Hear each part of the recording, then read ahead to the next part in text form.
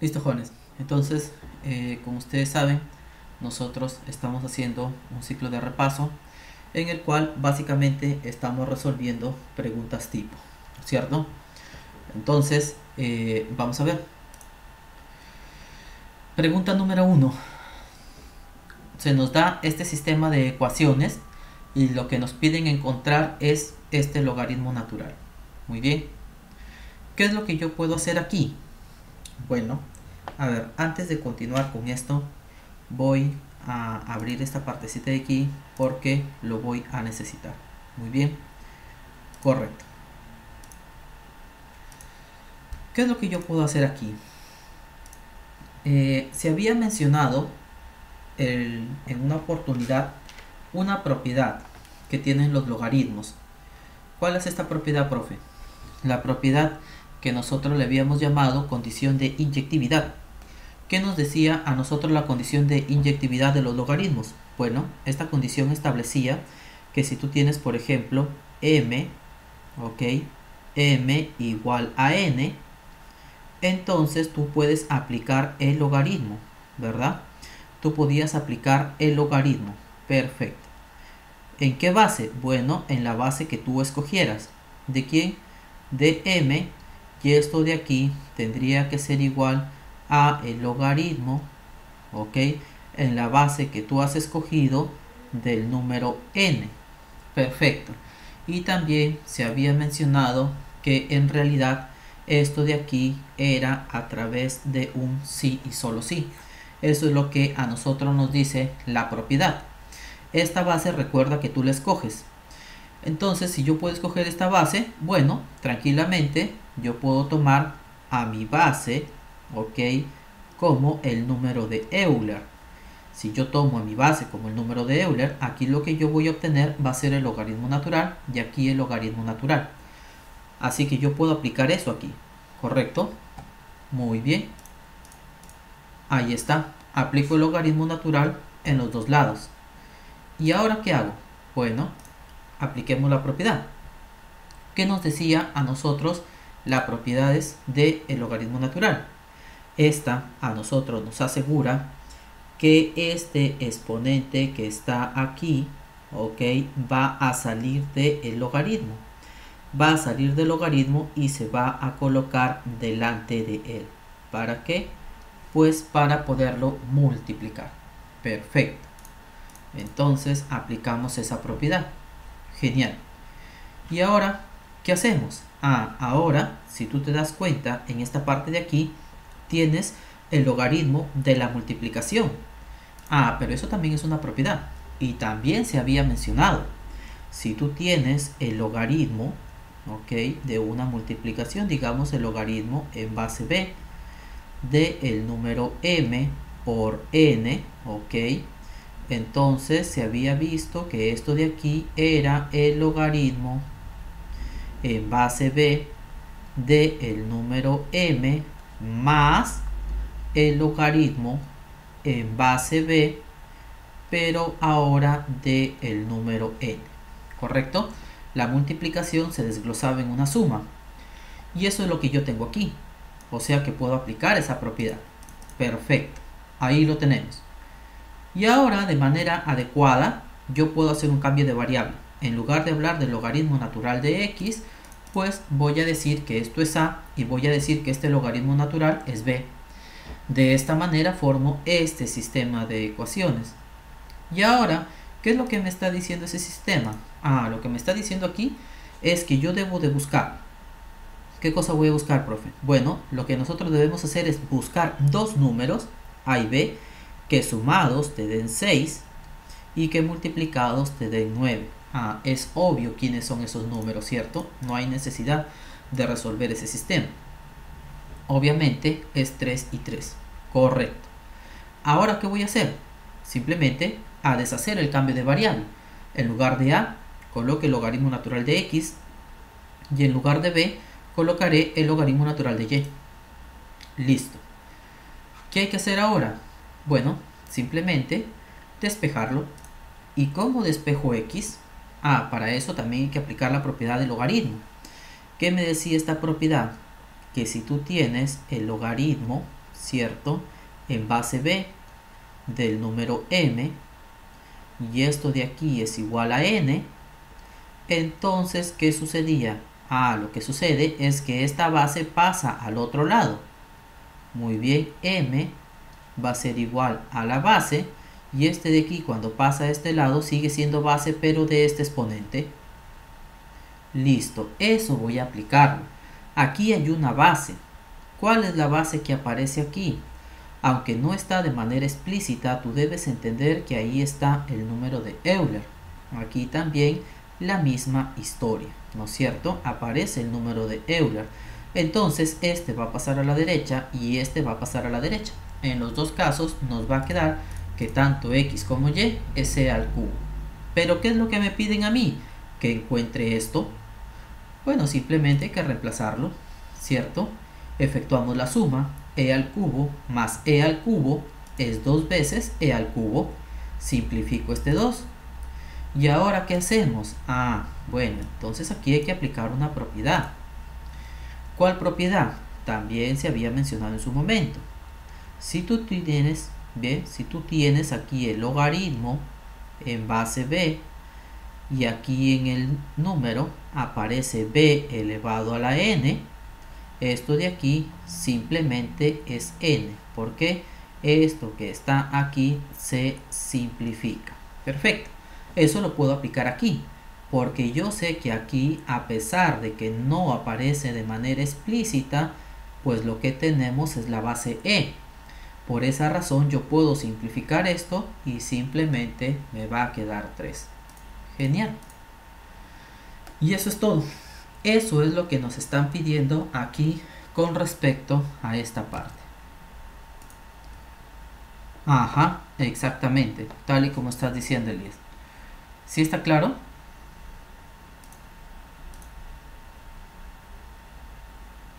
¿Sí? Ok. Muy bien. Vamos a ver en el siguiente caso qué es lo que nos piden una vez más, nosotros tenemos aquí esta expresión. ¿Qué cosa es esto? Aquí me dicen un cociente notable. ¿Qué es lo que me están diciendo? Bueno, en este cociente notable se tiene que el grado absoluto del término del lugar 7 es 2n al cuadrado más 13. Sabiendo esto de aquí, encontrar el valor de 2n menos 1. Perfecto. ¿Qué voy a hacer? Aplicar esta propiedad. ¿Correcto? Voy a aplicar esta propiedad. Ahora, aquí en los cocientes notables ustedes tienen que tener en cuenta lo siguiente. ¿Ok? Tienen que tener en cuenta lo siguiente. El cociente notable tiene este formato. Tiene este formato, de acuerdo a lo que estoy teniendo aquí también, ¿no? Porque a veces aparece aquí más, aparece aquí más, o pueden haber algunas variaciones ahí. Pero quiero que te des cuenta de esto. Lo que aparece aquí, esto que está aquí, ok esto que está aquí es el A que aparece aquí abajo y esto que tú tienes aquí y esto que tú tienes aquí es el B que aparece aquí debajo en este caso el A es este este es el A porque en la parte superior lo que tienes aquí en el numerador es A pero está elevado a la M y eso es lo que tú estás visualizando aquí. Mientras que lo que tienes aquí es el b. Y aquí qué cosa está? El b elevado a la m. O sea que b es este. Bien, eso es algo que tienen por favor que tenerlo en cuenta. Si ustedes no quieren realizar ese análisis que les estoy comentando, lo que tendrías que hacer es lo siguiente. Aquí tú tienes x elevado a la 36n menos y elevado a la 12 ok y en la parte del denominador lo que aparece es x a la 3n menos y si tú no quieres hacer el análisis que te acabo de explicar aquí lo que tendrías que hacer es darle este mismo formato y cómo lo hago de la siguiente manera este señor que está aquí yo lo puedo expresar como x a la 3n y todo esto de aquí elevado a la 12. ¿Se dan cuenta? Menos este y que está aquí ya aparece elevado a la 12. Y todo esto que está aquí dividido entre x a la 3n menos y. Y si te das cuenta ya tiene este formato. ¿Quién es a? Efectivamente x a la 3n. Ahí está. ¿Quién es b? y. Tal cual. Entonces hay que tener cuidado a la hora de aplicar esto. Bueno, habiendo identificado A y habiendo identificado B, ahora lo que nosotros debemos hacer es identificar quién es este que está aquí. Bueno, aquí nosotros estamos hablando del término del lugar K. A mí lo que me están dando como dato es el grado absoluto del término del lugar 7. O sea que este señor que está aquí yo lo voy a sustituir por el término de lugar 7. En resumidas cuentas, K vale 7. ¿Ok? Muy bien. Entonces reemplazamos en lugar de A hay que colocar X a la 3N. En lugar de B hay que colocar Y. Aquí nosotros debemos colocar, bueno, el exponente. Tú ya sabes quién es el exponente porque yo lo había calculado hace un momento. Y K, que en este caso vale 7. Muy bien ahí estamos, aplicamos la propiedad. En este caso, lo que está faltando aquí es reemplazar el valor de m. Bien, reemplazar el valor de m. Y le estoy aplicando esta propiedad, tal y como tú te das cuenta. Entonces, ¿quién es m? Este 12 que está aquí. ¿Quién es k? k en este caso es el 7 que a mí me están dando porque estoy hablando del término del lugar 7. Perfecto. Y ahora, ¿qué hay que hacer? Ejecutar las operaciones Aquí tenemos 12 menos 7, aquí tenemos 7 menos 1. Este resultado de aquí se va a multiplicar por el 3n, o sea, hay algunas cuentas que ahí nosotros tenemos que hacer. Muy bien. Listo. Aquí tenemos el término del lugar 7. Pero lo que a mí me están dando de este término es que el grado de ese término, el grado absoluto, es 2n al cuadrado más 13. Y ahora viene la siguiente situación ¿Y quién es el grado absoluto de este término? Ah, el grado absoluto de una expresión algebraica está dado por la suma de los exponentes de sus variables. Entonces el grado absoluto de esto de aquí, que muchas veces en los libros tú lo vas a encontrar como GA, el grado absoluto estaría dado por el 15n más 6. Pero aparte del grado absoluto hay otro tipo de grados, que es el grado relativo, ¿no es cierto? Si a ti te pidieran el grado relativo, por ejemplo, respecto a x, a esto simplemente sería 15n. Y si a ti te hablaran del grado relativo, en este caso, con respecto a y, bueno, esto sería 6. Nada más. Aquí tienes el grado relativo de y, el grado relativo de x y el grado absoluto. Lo que a mí me están dando es el grado absoluto. O sea que este 15n más 6 que yo tengo aquí debe ser igual a esto. Necesariamente. Ahí está. Perfecto. ¿Qué debo hacer ahora? Bueno, hay que resolver esa ecuación de segundo grado. ¿Cómo lo hago? Esto lo paso a la derecha y esto lo paso a la derecha. Listo. ¿Y ahora qué debemos hacer aquí? Bueno, hay que aplicar la fórmula general, porque tú no puedes a esto de aquí aplicarle el aspa simple. Entonces le aplicamos la fórmula general. Perfecto. Para aplicar la fórmula general, recuerda que lo que tú tienes que hacer aquí es identificar en esta parte de aquí quién es A, quién es B y quién es C. El A es el número que acompaña a tu variable de segundo grado, B el que acompaña a tu variable de primer grado y C es el término independiente, aquel que no tiene variable con su respectivo signo. Identificado eso, lo reemplazas, ejecuta los cálculos correspondientes y te sale que n es igual a 7 o n es igual a un medio. Muy bien. Pero ¿qué es lo que sucede? n no puede ser un medio. ¿Por qué es que n no puede ser un medio? Bueno, vamos aquí contigo. A ver, voy a minimizar esto. Y vamos a ver. ¿Por qué razón n no puede ser un medio? Porque los cocientes notables, sus exponentes, son enteros. Los exponentes de los cocientes notables no son fraccionarios. Por esa razón es que se descarta el un medio que tú estás obteniendo allí. ¿Ok? Hay que tener eso pendiente. Entonces, habiendo descartado este valor fraccionario, significa que n vale 7. Ahora bien, si n es igual a 7, ¿cuánto vale 2n menos 1? Ya simplemente es cuestión de reemplazar. Ejecutas el reemplazo aquí, en lugar de n colocas 7, multiplicas 2 por 7 menos 1 y aquí tienes tu respuesta. Para este caso nos va a salir 13. Y eso es todo lo que hay que hacer aquí. ¿Sí está claro?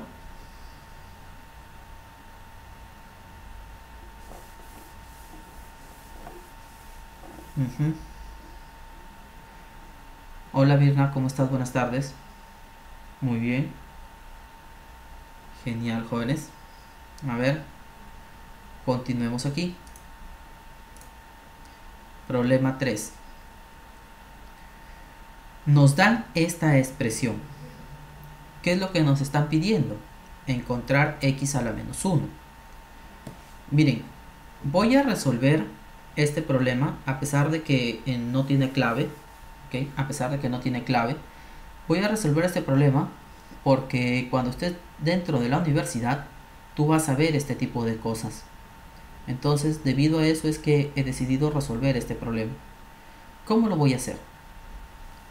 Primero, yo me doy cuenta que aquí aparece 2 a la x y aquí también aparece 2 a la x. Entonces, bien, entonces nosotros podríamos tranquilamente aquí hacer un cambio de variable, pero lo voy a hacer en un momento. Primero voy a deshacerme de esta raíz. ¿Cómo me voy a deshacer de esta raíz? Elevando al cuadrado. Al efectuar, al efectuar esa elevación al cuadrado, esto que está aquí se va a simplificar, ¿no es cierto? Esto se simplifica con esta raíz. Y acá tengo un binomio diferencia al cuadrado. Y ahí hay que ver qué cosa podemos hacer. Listo. Ejecutamos el cambio de variable. En lugar de colocar 2 a la x, lo que voy a hacer es colocar z. Perfecto. Ejecuto el reemplazo y tengo esto, miren. Ten en cuenta que el objetivo es encontrar x a la menos 1. Por lo tanto, lo que yo deseo es despejar x. Genial. A partir de aquí yo lo puedo hacer. Bien, a partir de aquí yo lo puedo hacer. Pero vamos a ver qué es lo que vamos a obtener. Tengo que desarrollar este binomio y tengo que ejecutar aquí la distribución. Este A multiplica Z, el A multiplica menos 2, ¿cierto? Eso ustedes lo conocen muy bien. Este A de aquí multiplica al Z y también multiplica a menos 2. Aquí tengo que aplicar el binomio diferencia al cuadrado. Cuando hago esos cálculos voy a obtener esto. Listo. ¿Qué hago ahora? Bueno, aquí voy a armar una ecuación de segundo grado. Recuerda que tus ecuaciones de segundo grado son aquellas que tienen este formato, ¿cierto? ax cuadrado más bx más c igual a 0. Esas son tus ecuaciones de segundo grado. Pero no toda la vida va a aparecer x, ¿cierto? Tranquilamente puede ser w, puede ser un t, puede ser un z, como en este caso, puede ser un z, o cualquier otra variable. No toda la vida tiene que tener x, pero toda ecuación de segundo grado sí tiene esa estructura. Entonces lo que yo voy a hacer aquí es buscar eso. Voy a buscar mi ecuación de segundo grado, pero en términos de z, porque ya me di cuenta que aquí tengo z al cuadrado. Así que esto lo voy a pasar a la derecha, naturalmente va a pasar con signo negativo, este va a pasar a la derecha con signo positivo y este señor también va a pasar a la derecha con signo positivo, ¿cierto? Genial. Ahí está. ¿Qué es lo que estoy haciendo? Bueno, lo estoy agrupando. Naturalmente lo estoy agrupando. Listo. Y ahora, o todo esto que está aquí, lo puedes considerar como un solo término y también lo puedes pasar a la derecha con signo negativo y te va a dar esto. Aquí, ¿qué debo de hacer? Este negativo multiplica aquí, aquí y aquí o simplemente haces la operación que te había dicho anteriormente. Cuando tú ejecutes las agrupaciones y todo lo que tengas que hacer, vas a llegar a esta expresión. Y esto que está aquí es una ecuación de segundo grado, profe, claro que es una ecuación de segundo grado. Tus ecuaciones de segundo grado tienen este formato. bx más c igual a 0, tienen ese formato. Tus ecuaciones de segundo grado. Y es lo mismo. z cuadrado, bueno, ahí aparece. z, ahí aparece. Y aquí está mi término independiente. Ojo que el término independiente es todo este. O sea que todo esto está haciendo el papel de C. Todo esto que aparece aquí está haciendo el papel de B. Y aquí 1, porque aquí está el número 1, ese 1 está haciendo el papel de A. ¿De cuál A? De este que tú tienes aquí. ¿Por qué lo coloca con mayúscula, profe? Porque aquí tengo un A minúscula, no quiero que pienses que es el que aparece aquí. Entonces, lo que yo debo de hacer es aplicar esa fórmula general, pero lo estoy cambiando.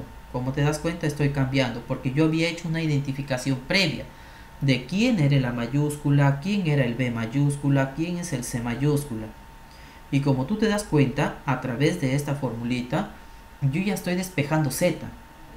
¿Y por qué me interesa despejar Z? Por lo que yo tengo aquí. Obsérvalo. Ahí yo tengo que Z es igual a 2 elevado a la X. Z es igual a 2 elevado a la x. Para que yo encuentre x a la, menos, a la menos 1 necesito despejar x. ¿Cómo hago para despejar x aquí? Fácil, tomo el logaritmo. ¿Cierto? Nosotros podemos tomar el logaritmo en cualquier base que tú quieras. En este caso voy a tomarlo en base 2. De manera directa. Voy a tener que el logaritmo en base 2 de z es lo mismo decir el logaritmo en base 2 de 2 a la x y ya te diste cuenta por qué lo tomo en base 2 y aquí este se elimina ¿no es cierto? y qué me quedaría x se dan cuenta esto de qué otra manera lo puedo expresar así x si yo aplico el cambio de base me va a quedar que x es igual al logaritmo en base 10 del número z dividido entre el logaritmo del el número 2. ¿Cierto? Es exactamente lo mismo. Este señor que está aquí es lo mismo que este que está aquí. ¿Qué voy a hacer? Aplicar mi fórmula general aquí. Tal y como tú, te das cuenta, ya estoy aplicando aquí la fórmula general. ¿Quién era B? Todo este señor era B, con su signo negativo. Si yo reemplazo menos B, entonces me queda el A más 2 positivo. ¿No es cierto? Recuerda que todo este que está aquí es el B. Todo este es el B. Este es el B mayúscula que yo le estoy llamando. Si tú lo reemplazas aquí en menos B, te va a quedar esto de acá. B al cuadrado. Esto de aquí elevado al cuadrado. Menos 4 veces A. ¿Quién era A? ¿Recuerdas? Aquí yo mencioné que estaba el 1. Ahí está. ¿Quién es E? Este es el término independiente. Ese que está ahí lo estoy reemplazando entre dos veces a. ¿Quién es a? Ya habíamos dicho. Así que obtenemos esto. ¿Qué hay que hacer aquí? Hay que resolver esta raíz, ¿cierto? Aquí en la parte interna tenemos un cálculo para hacer. Bueno, ejecutamos el cálculo. Listo, aquí está. Obviamente yo no estoy haciendo aquí todo el procedimiento porque hay cuentas que ustedes tienen que hacer. ¿Ok? Hay cuentas que ustedes tienen que hacer. ¿Cómo cuáles, profe? Aquí. Si ustedes resuelven ese binomio, les va a quedar a elevado al cuadrado, ¿cierto? Más, muy bien, 2 por 2 es 4 por a, eso te va a dar 4a, ¿cierto? Más este señor que está aquí elevado al cuadrado, 4 menos, y aquí viene, ¿cierto? 4 por 2a, eso es 8a, como se dan cuenta ustedes aquí, menos por más, eso sigue siendo menos, y aquí te va a quedar 8 y ejecutas aquí tus cálculos. 4a menos 8a, ahí está. 4 menos 8, aquí está. O sea que solamente es cuestión de resolver esto que aparece aquí dentro de la raíz. Perfecto. ¿Y ahora qué hay aquí que hacer? Bueno, reemplazar. Pero yo ya había, en este caso, porque estoy colocando el 2 a la x. Porque si no, recuerda que yo ya había encontrado una expresión para el x. ¿Quién era el x? ¿Te acuerdas? Era el logaritmo de z dividido entre el logaritmo de 2. Esa es la expresión que yo ya había encontrado. Y el z ya lo tengo aquí. O sea que era simplemente cuestión de coger este logaritmo y reemplazarlo acá. Por eso te dije que no hay alternativa. Y ahí está, miren. Estoy tomando el logaritmo natural. Esta es otra forma de hacerlo, ¿no? Estoy tomando el logaritmo natural aquí. Este x que tú tienes aquí en el logaritmo natural, ya sabes lo que va a hacer. Este señor que está aquí va a salir y se va a colocar aquí, ¿cierto? Para poderlo multiplicar. Así lo que nos va a quedar es x por el logaritmo natural de 2 igual a esto y este va a pasar a dividir. Y no aparece ninguna alternativa así.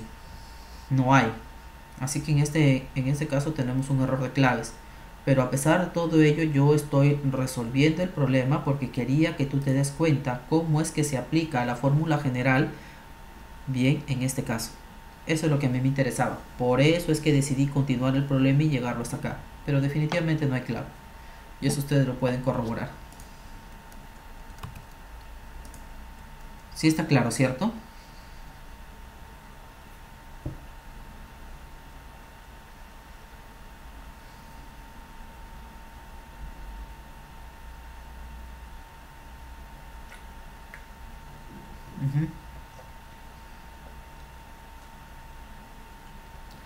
Ubícame, Elías.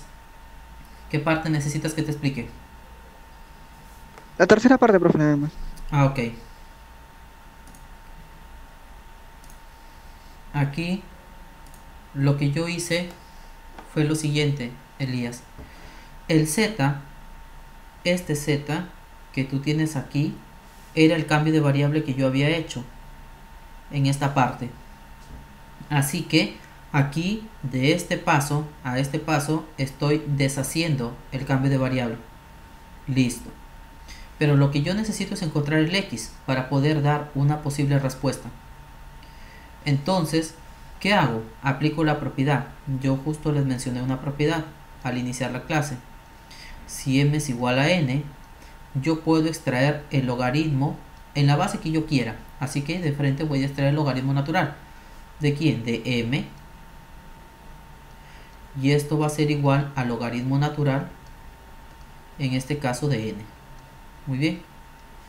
Eso es lo que estoy haciendo aquí. De este paso a este paso. Estoy aplicando esta propiedad. Y ahora, ¿qué es lo que hago? Aquí. Esto que aparece aquí es exactamente lo mismo a decir x por el logaritmo natural de 2.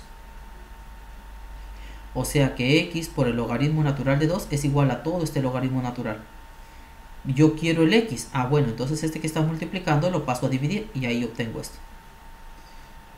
Ya no continúo encontrando el x a la menos 1 porque aquí ya me di cuenta que no hay clave. ¿Sí te quedó claro, Elías? Sí, profesor. Ok, perfecto. Genial, jóvenes. A ver. Vamos al problema número 4. ¿Qué me dicen en este problema? Dos soluciones de la ecuación bicuadrática de esta ecuación, o bicuadrada también le llaman, dos soluciones de esta ecuación son este menos 1 y 1 sobre la raíz de a sabiendo que A es mayor que 0. ¿Qué es lo que a mí me pregunta? Lo que a mí me está pidiendo es hallar la raíz cuadrada de A por B. ¿Qué voy a hacer aquí? Lo siguiente. Cuando a ti te dicen que tienes una solución, y te lo voy a explicar aquí, por ejemplo, para que tú te des cuenta con algo sencillo nada más. Bien, 2x le voy a poner más 1, una cosa demasiado trivial igual a 0. ¿Quién es la solución de esa ecuación? Bueno, la solución de esa ecuación es x igual a menos un medio. La pregunta es aquí la siguiente. ¿Y cómo tienes tú la seguridad que esto realmente es una solución de esta ecuación? Ah, bueno, lo único que tú haces es reemplazar, ¿cierto? Cuando tú resuelves una ecuación y obtienes una respuesta y tienes dudas de que sea tu solución, lo que tienes que hacer es comprobar. ¿Cómo se comprueba? Reemplázalo. Si tú lo reemplazas, 2 por menos un medio, ¿cierto? Más 1, te das cuenta que efectivamente te sale 0. O sea que esto sí es una solución de esta ecuación. Esto que te acabo de explicar aquí es lo que tenemos que aplicar en el problema, porque a mí me están dando que esta es una solución. ¿Y cómo tengo yo la seguridad que es una solución? Reemplazándolo aquí. Si este que está acá es una solución, ah, significa que ese también lo puedo reemplazar aquí. Muy bien. Hagamos eso. Menos 1 es solución, así que lo reemplazo. No hay ningún problema, lo puedo hacer. Listo. Ejecuto los cálculos que tengo que ejecutar aquí. Y a partir de esto, despejo rápidamente B. No es difícil resolver esta ecuación. Así como yo sé que menos 1 es una solución, también sé que 1 entre la raíz de A es una solución. Significa que yo puedo reemplazarlo aquí. Perfecto. ¿Qué hay que hacer acá? Aplicar algunas propiedades, ¿verdad? Aplicar algunas propiedades. ¿Qué propiedades? Las siguientes. A ver, cuando tú tienes 1, voy a colocar aquí sobre A y todo esto aparece elevado a la M, ¿qué cosa te queda? Únicamente 1 entre A elevado a la M. O sea que este exponente afecta directamente al que está abajo. Profe, y el 1 no lo afecta, sí lo afecta. Lo que pasa es que 1 a la M sigue siendo 1. Por eso no analizo lo que está pasando ahí en el numerador. En resumidas cuentas, este 4 se va a convertir en un exponente de esta raíz. Y cuando se convierte en exponente de esa raíz, yo puedo eliminar esto. ¿Y por qué razón? Ahora, ojo con lo que te voy a explicar aquí. ¿Por qué razón yo aquí, de manera arbitraria, puedo eliminar estos dos? O simplificarlos, como tú le llamas para que me quede al cuadrado. Por la razón de que aquí me están dando que A es mayor que 0. Si a mí no me dijeran que A es mayor que 0, ahí tendría un problema. ¿Ok? Ahí tendría un problema. Y lo mismo hago aquí, naturalmente. Esto de aquí se simplifica con él, al fin y al cabo. Entonces lo que me va a quedar aquí es B sobre A elevado al cuadrado menos 17 sobre A. Ahí estamos. Profe, ¿y este 16? Ah, lo que pasa es que B vale 16. Habíamos encontrado que B vale 16. Ah, ok. ¿Qué debemos hacer aquí? Hay que resolver esa ecuación. Necesariamente tenemos que resolver esa ecuación. ¿Cómo lo voy a hacer? A través de un cambio de variable. ¿Y para qué me sirve este cambio de variable, profe? Lo siguiente.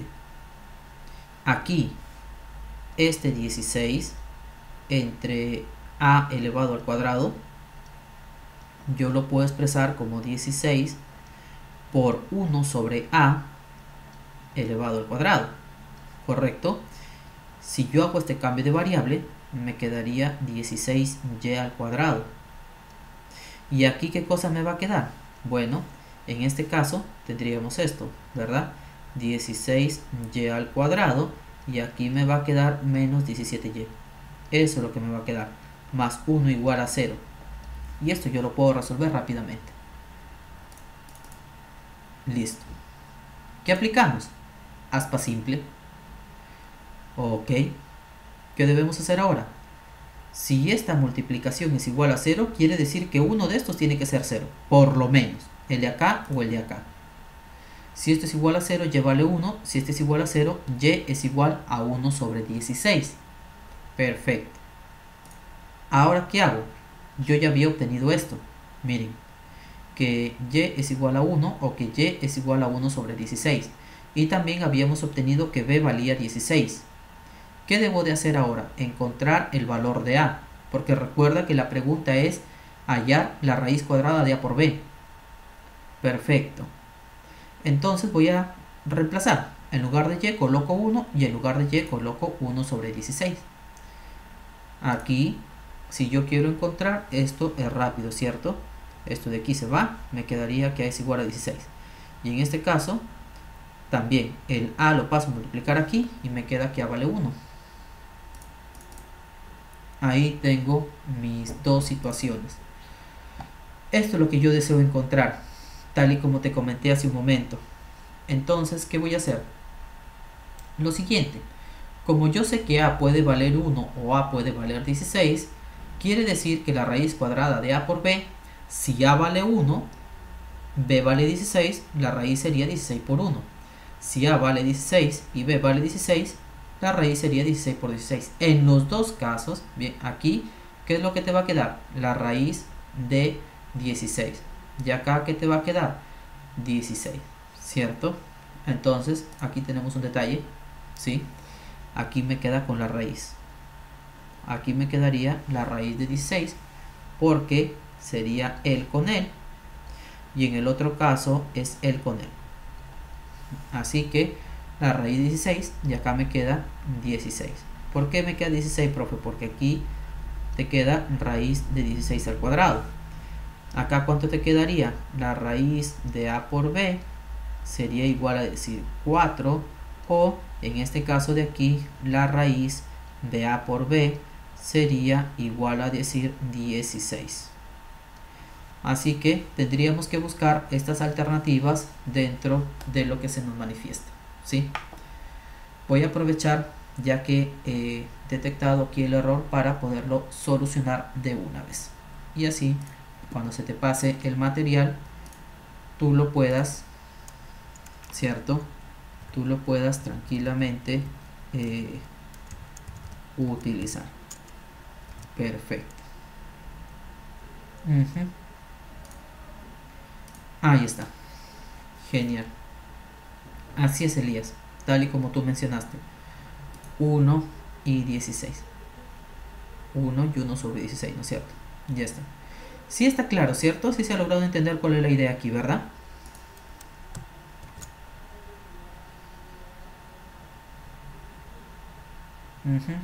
Hola Tatiana, gracias por comentar. Genial, jóvenes. Perfecto. A ver. Veamos qué más hay por aquí. Bueno, como se dan cuenta, miren, ya corregí esto para que eh, en las claves lo que aparece es esto. Esto es lo que aparecía en las claves. Vamos aquí. Función sobreyectiva. Me dan esta función, miren. Me dicen que f que va de 4,12 en intervalo cerrado al intervalo cerrado a, b, tal que f de x es esto, me dicen si el dominio de este f es igual a esto, sabiendo naturalmente que f es sobreyectiva, encontrar b menos a. ¿Cómo voy a hacer yo para encontrar ese b menos a? A ver, pregunta jóvenes, pregunta para ustedes. ¿Cuándo una función es sobreyectiva? A ver, ¿qué me dicen? ¿Cuándo se verifica que la función es sobreyectiva? ¿O todas las funciones son sobreyectivas?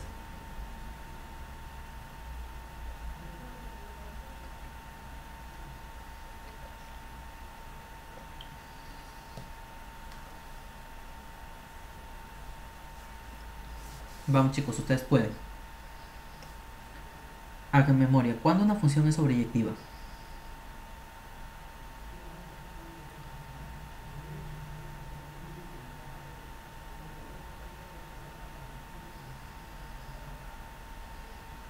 ¿No se acuerdan?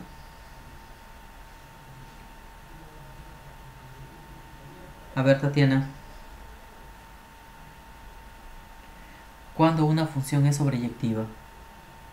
Ya cuando el conjunto de llegada tiene al menos un X. Ya, ok.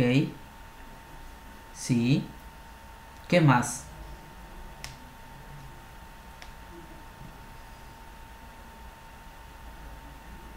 Miren, nosotros hablamos de varios tipos de funciones. Las funciones inyectivas y las funciones sobreyectivas.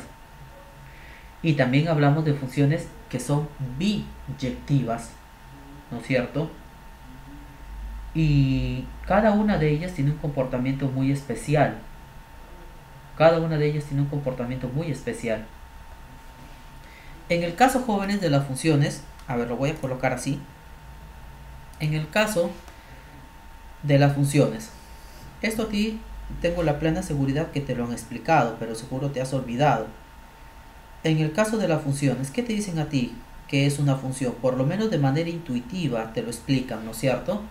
Por lo menos de manera intuitiva. A ver, voy a colocar esto así para eh, de repente tener un dibujo que sea un poco más agradable a la vista. Bien, ahí está. Cuando se habla de funciones, a ti te dicen que por aquí tienes tu conjunto de partida, por aquí tienes tu conjunto de llegada, te dicen que aquí viene la función. Eso es lo que te han explicado en tu colegio, ¿cierto? Te tienen que haber explicado eso con total seguridad. Aquí dentro del conjunto de partida, tú vas a tener lo que es el dominio. Por aquí puede estar tu dominio. Y dentro del conjunto de llegada, tú vas a tener lo que es el rango. Muy bien, eso es lo que tú vas a tener ahí. Entonces, el dominio, esa es una característica. Bien, bueno, voy a colocarlo así porque lo voy a necesitar. Y voy a borrar esta partecita. Ahí lo tenemos. El dominio tiene una característica. ¿Cuál es la característica del dominio? Bueno, el dominio de la función siempre es un subconjunto de donde de tu conjunto de partida, como lo puedes ver aquí. Nosotros aquí tenemos el dominio. ¿Verdad? Ahí está el dominio de la función. Y el rango tiene también una característica. El rango tiene también una característica. ¿Cuál es esa característica del rango? que él siempre va a estar contenido en tu conjunto de llegada, como lo puedes ver aquí. Ese es el rango, ¿no es cierto? Está contenido en tu conjunto de llegada. Cuando te están diciendo a ti que la función es sobreyectiva, ¿ok? Cuando te dicen que la función es sobreyectiva, lo que se cumple es que el rango, y acuérdate de esto, acuérdate de esto, el rango resulta que es todo tu conjunto de llegada. Eso es lo que pasa cuando tu función es sobreyectiva. Por esa razón es que te dicen a ti, existe algún X en el conjunto de llegada. Aquí está. Coinciden. Son exactamente iguales. Como esta que está aquí es una función sobreyectiva, quiere decir que el comportamiento no es este que yo he dibujado ok, no es este que yo he dibujado. Lo que realmente está pasando es que este señor que está aquí es, ¿qué cosa? El rango. Ese es el rango. Ok. Pero a ti te están dando algo aquí. En esta notación, cuando tú utilizas esta notación, ¿cierto? Para que no estés colocando todo este dibujo a cada rato, ¿Qué cosa es lo que tú haces? Ah, tú dices esto. La función va del conjunto A hacia el conjunto B. Este es mi conjunto de partida y este es mi conjunto de llegada. Si tú lo comparas, ¿quién es tu conjunto de llegada? Este que está aquí. Pero te dicen que la función es sobreyectiva. ¿Qué significa eso? Señor, eso significa que el rango de tu función, ok, grábate esto, que el rango de tu función es este conjunto. Eso es lo que te están diciendo aquí. Eso es la información que te están dando aquí. Por eso te dan esta función y te dicen, este es el rango, Eso te están diciendo. Este que está aquí es el rango. ¿Y ahora qué tenemos que hacer? Ah, ahora hay que ver cómo vamos a usar esa información. Pero hay algo más. A mí me están dando quién es la función. Y también me dan el dominio. Recuerda, y esto debe recordarlo porque esto lo hicieron conmigo el ciclo pasado. Cuando a ti te hablan del dominio, lo que te están dando es X. O sea que lo que me están diciendo aquí, aquí, lo que me están diciendo aquí es que el X está variando. ¿De dónde a dónde varía el X? De 4 a 12. Ahora dime una cosa. Si yo conozco el X y yo quiero encontrar el rango, a través de la regla de correspondencia lo puedo hacer, ¿sí o no? No puede ser que te hayas olvidado porque esto lo hemos hecho el ciclo pasado. Así que voy a construir el rango partiendo del dominio. A partir de este señor que está aquí, a partir de este que está aquí, yo debo construir todo lo que tengo aquí, toda esta expresión completa. Eso es lo que tengo que hacer para poder encontrar el rango. Así que nos vamos ahí. Pero antes de hacer eso, voy a hacer una modificación aquí. ¿Qué modificación voy a hacer? Lo siguiente, voy a escribir esto de una manera más sencilla. ¿Y cómo escribo esto de una manera más sencilla? Pues de la siguiente forma. Miren, de esta forma. Cuando yo aplico esto, ¿qué es lo que está haciendo ahí? Le estoy dando este formato. Observa. 3x más 4. Muy bien. 3x más 4 dividido entre x más 2. Aquí tengo varias opciones, ¿sí? Aquí tengo varias opciones. Una de las opciones es la siguiente. Este x más 2 lo voy a hacer aparecer aquí. ¿Cómo hago que ese x más 2 aparezca en esta parte de aquí? Esto es bastante sencillo. Colócalo ahí. No tienes por qué hacerte problemas, colócalo ahí. Listo, ahí está, ya lo coloqué. Pero cuando tú has colocado esto, ¿qué es lo que estás añadiendo? 3 por x, 3x, ahí está. 3 por 2 es 6. 6 positivo, pero aquí yo tengo 4, entonces restaré 2. ¿Lo ves? No es difícil. Listo. ¿Y para qué hago esto? Para aplicar esta propiedad. Si tú tienes que a menos b, no necesariamente menos, puede ser más menos, dividido entre m, ¿eso qué cosa es? a dividido entre m más menos b dividido entre m. ¿Correcto? Eso es lo que yo quiero aplicar aquí. Porque yo me doy cuenta que cuando aplique esto, el de aquí se va a eliminar. Y me va a quedar 3 menos 2 entre x más 2 y construir esto de aquí a partir de lo que yo te había mencionado, a partir de esto, de x 12 y aquí 4, construir este conociéndole aquí es sencillo. En cambio, construir este de acá genera todo un problema. Por eso lo estoy haciendo así. Entonces ya tenemos esto. Listo. Significa que este que está aquí es el f de x. Este es el que voy a construir. ¿Partiendo de dónde? De aquí, tal y como te dije. ¿Qué es lo que voy a hacer? Aquí yo me doy cuenta que aparece x más 2, entonces súmale 2 a todo. 2 aquí, 2 en la izquierda, en el centro y en la derecha. Listo. Pero aquí yo me doy cuenta que el x más 2 está como denominador. Si el x más 2 está como denominador, voy a aplicar esta propiedad. Si yo tengo que a es menor o igual que b y esto es menor o igual que c, ¿qué cosa se cumple? Que 1 sobre a es mayor o igual que 1 sobre b y esto es mayor o igual que 1 sobre c. La pregunta es, ¿toda la vida puedo aplicar esa propiedad? No, no se puede aplicar toda la vida.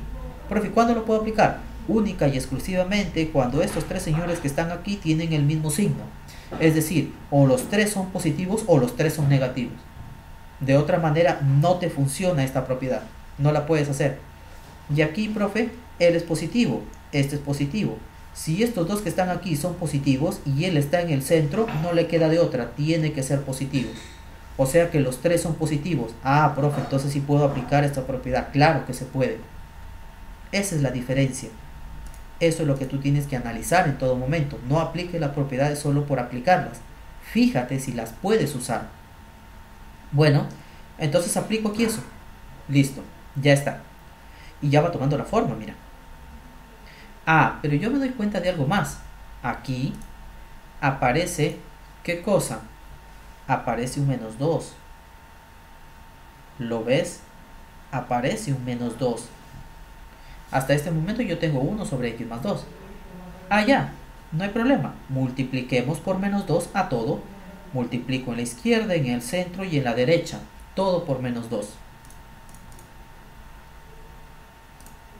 Ahí está. ¿Se dan cuenta? Cuando yo multiplico todo por menos 2, ¿qué me queda aquí? Menos 2 sextos, ahí lo tienes. Menos 2, aquí lo tienes. Menos 2, ahí está multiplicas por menos 2, ahí está, pero sucede algo. En las inecuaciones, cuando tú multiplicas por un signo negativo o por un número negativo, la desigualdad cambia. Esta desigualdad cambia, ¿se dan cuenta? Ahí aparece. ¿Qué debo de hacer? Aquí simplifico, pues cierto, simplifico ahí, simplifico acá. Y vamos a obtener esto. ¿Qué estoy haciendo aquí? Ah, lo que me faltaba este lo estoy agregando ahí. Listo, le sumo 3 aquí, 3 en la izquierda, 3 en el centro, 3 en la derecha y ya lo obtuve, mira. ¿Quién es este señor? ¿No es acaso tu f de x? Claro que es tu f de x, por supuesto. Aquí ya sabes, esto es un tercio, 3 menos un tercio, ejecutas. Aquí tienes eh, un séptimo, ejecutas aquí la diferencia y llegas a esto. ¿Qué significa esto? Ah, debes recordarlo porque lo hemos hecho el ciclo pasado. Tienes aquí un intervalo que contiene al f de x. Cuando nosotros hablábamos del x, ¿qué te representaba? x te representa el dominio. ¿Y quién te representaba el rango? Y representaba el rango. Eso se vio el ciclo pasado. Pero Y también se explicó y se te ha dicho que cuando tú hablas de funciones siempre tienes este cambio de variable. Eso se te ha explicado. Y ese es el que tienes aquí. O sea que ya encontraste el rango ¿Quién es el rango? El intervalo que va desde 8 tercios cerrado hasta 20 séptimos cerrado. Ese es el rango, pero a mí me daban un dato. ¿Quién tiene el rango? Este señor. O sea que A tiene que ser igual a 8 tercios y B tiene que ser igual a 20 séptimos. Ahí está. ¿Qué era lo que a mí me pedía? Encontrar b menos a. Ya está fácil, ¿cierto? Es simplemente cuestión de ejecutar la resta y listo. Ahí vamos a obtener nuestra respuesta. Eso es lo único que tú tienes que hacer en ese problema. No hay nada más. Ajá, muy bien Tatiana. Perfecto, genial. Así es. Bien. Perfecto, jóvenes. Entonces hasta aquí vamos bien, ¿no es cierto?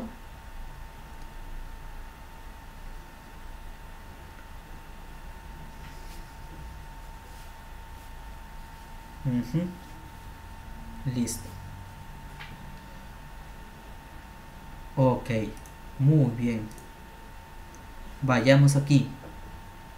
Nos piden simplificar esta expresión.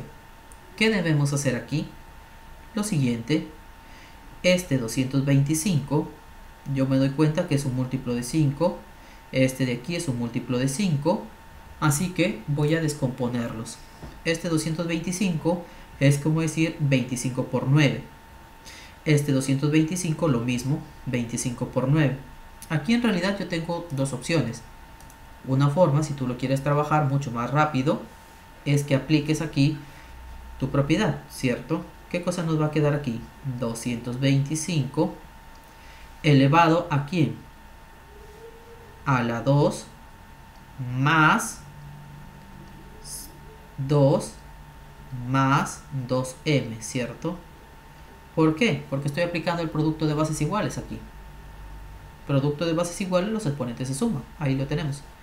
O sea que en esta parte lo que nos quedaría sería 225 elevado a la 4 más 2m. ¿Quién era el 225? Aquí lo tienes, 25 por 9. O sea que aquí nos quedaría 25 por 9, ¿correcto? Todo esto elevado a la 4 más 2m. ¿Qué hago? Aplico la propiedad. Potencia de un producto. Si yo tengo A por B elevado a la M, ¿esto qué cosa es? A elevado a la M por B elevado a la M. ¿Correcto? O sea que aquí lo puedo distribuir. Antes de distribuirlo, yo me doy cuenta que este 25 es 5 al cuadrado. O sea que aquí me quedaría 5 al cuadrado elevado 4 más 2m. Muy bien. Y aquí me quedaría 3 al cuadrado elevado 4 más 2m. Perfecto. Aquí, ¿qué hago? aplico potencia de potencia, ¿recuerdas? A elevado a la m, todo esto elevado a la n, ¿qué cosa te da? A elevado a la m por n. Así que aplicamos eso aquí. Este 2 multiplica todo esto. Aquí me quedaría 8 más 4m. Y la misma historia aquí, solo que con 3. 8 más 4m. Multiplicación. Eso es lo que me va a quedar en la parte de arriba. ¿Ok? Eso es lo que me va a quedar en la parte de arriba. Y aquí, obviamente, este 5 al cuadrado. O sea que ahí nos va a quedar 5 elevado a la 2m más 6. ¿Se dan cuenta? Más 4 y esto sigue siendo lo mismo. 4 por 5 a la 2m más 5. Entonces aquí está el numerador y aquí tengo el denominador. Listo. Aquí estamos. Ya. Vamos ahí. A ver. Entonces ya estamos en esta parte. ¿Ok? Esto es lo que te había explicado en los cálculos que yo hice a mano. ¿Y qué voy a hacer? Hasta aquí. Miren, hasta aquí. Vamos hasta aquí. ¿Ok? Para que se pueda entender yo me doy cuenta, aquí, yo me doy cuenta que este yo lo puedo expresar de esta manera. 5 elevado a la 2m más 6, ¿no es cierto? Ok, aquí es 6 más, ok, 4. O en este caso voy a ponerlo de esta manera. Aquí voy a colocar, a ver, voy a colocar esto para que se den cuenta que estoy haciendo. Este de aquí yo lo puedo expresar así. 5 elevado a la 2m más 5. ¿Más quién? 1. ¿Se dan cuenta? Y esta, y esta suma me está hablando de una multiplicación de bases iguales. Esto es 2m más 5. 5 elevado a la 2m más 5 multiplicado por quién? Por 5 a la 1 es lo mismo. Este que está aquí es lo mismo que esto.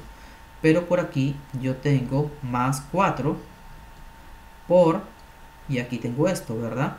5 elevado a la 2m más 5. Muy bien. ¿Y qué puedo hacer aquí? Yo me doy cuenta que esto los puedo sacar como factor común. Aquí tengo un factor común. Ese factor común yo lo voy a sacar. Entonces, ¿qué me va a quedar? Bueno, voy a colocar este factor común como B, ¿ok? Tú ya sabes qué es esto. Me va a quedar B por 5 más 4. Eso es lo que me va a quedar. Donde este B, ¿quién es? Este que aparece aquí. Muy bien. Listo. Ahí lo tenemos. 5 más 4 yo sé que es 9. Y aquí tengo un cociente de bases iguales. Este 9 es 3 al cuadrado. Y ahora, profe, apliquemos el cociente de bases iguales. Aquí tengo una división de bases iguales y aquí tengo una división de bases iguales. ¿Qué nos decía a nosotros la división de bases iguales? Que en este caso lo que me va a quedar es 5 elevado 4m más 8. Bien, ahí lo voy a poner.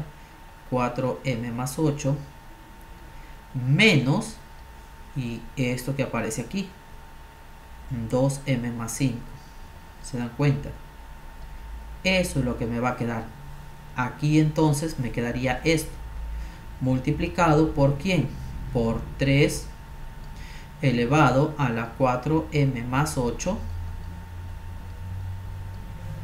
menos 2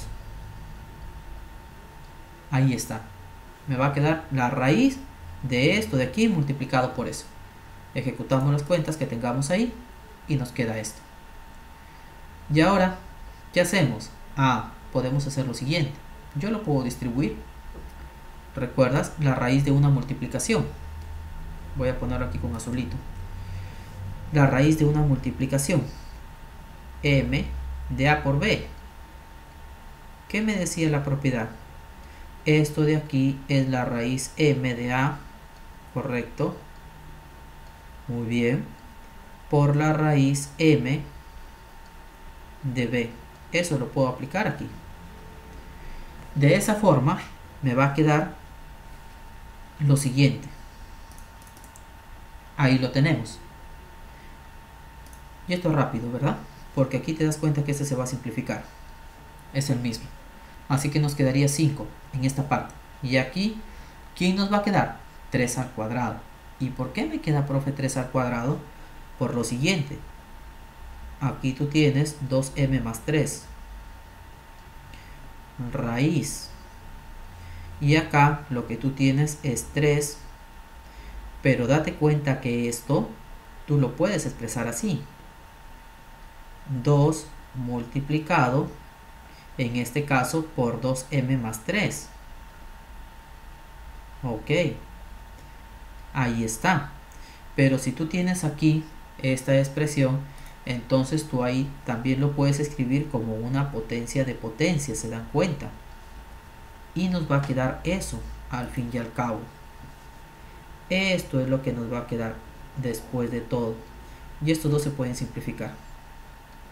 O sea que me quedaría 3 al cuadrado. ¿Y eso cuánto va a dar? 9. Ya lo tenemos. Muy bien. Tal y como te dije, 3 al cuadrado. Ejecutamos la multiplicación y ya está. Esa sería nuestra respuesta. 45. Sí, efectivamente Tatiana. Estás en todo lo correcto. Sale 45. Sí se ha logrado entender, ¿verdad?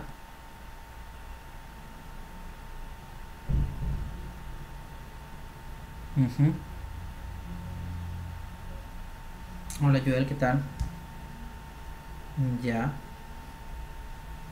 Ajá. Genial.